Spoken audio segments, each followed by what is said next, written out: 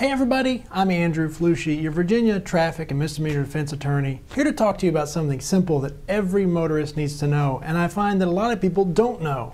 What documents do you need to have in your glove box when you're driving around in Virginia? Let's start with a simple document you should have in your pocket or your purse if you're a lady, your driver's license. Yes, by law in Virginia, you need to carry your driver's license when you drive. That's simple. Hopefully everyone knows that. It's a minor $10 ticket if you're caught without having your license in your possession, but who wants to deal with that and have to pay the $61 of court costs on top of that? So keep your license with you when you're driving. What do you need to have in your glove box though? Well, frankly, it's pretty simple. We have these little document holders that we give out to people to help you understand what you need to have in your glove box. It's really simple. So here you have three different documents. So what you can see here is your inspection receipt you can see your proof of liability insurance and your vehicle registration. These three documents you need to have in your vehicle. They just stay in your glove box. It's really simple. When you get the new one each year, you take the old one out, you shred it, you put the new one in.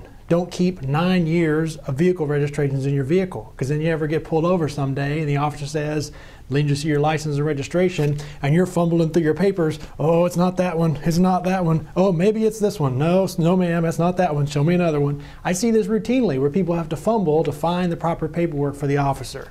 But if you have yourself a simple document holder, or even just an envelope, you stick your three documents in, you can just hand the whole thing to the officer. He may say, please pull it out for me, and then you can just simply pull out the one that he's asking to see.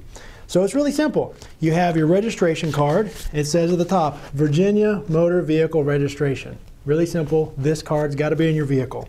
When you get your new one, you take the old one out and you shred it. The other documents you have, which I keep on the other side of the holder, is you have your liability insurance card. It says Virginia Insurance Identification Card. That way, if you're ever in an accident, you've got your proof of insurance. And always just make sure that you got the correct dates on there, that you're not shredding the current one and you're you know keeping the old one or something. Keep make sure it's got the correct dates. And then the third document is your proof of your inspection. This is the one that's got the Virginia seal on it right there. So that way you can show the officer that your inspection sticker is valid.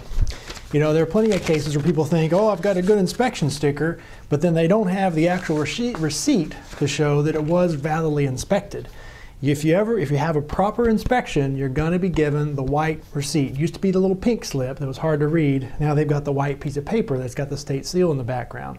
That shows an officer that you do have a legit inspection. So what are the four things you need to have when you're driving? A, you got to have your driver's license. Simple. B, you got to have your registration for your vehicle. C, you need your insurance liability card. And then finally, D, your inspection.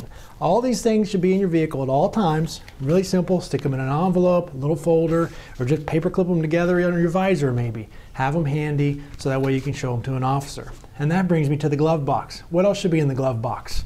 Nothing other than maybe your car manuals. Don't chalk your glove box full of stuff especially illegal stuff, that you, the officer might see when you have to reach in to pull out these documents. Don't keep your marijuana in your glove box. Better yet, don't smoke marijuana. But if you do, don't be carrying around contraband in the same place with your documents that you got to give to the officer. That's just stupid. All right, so keep your documents where you can get to them handily, where you can hand them over to an officer if you're at a roadblock or if you're pulled over.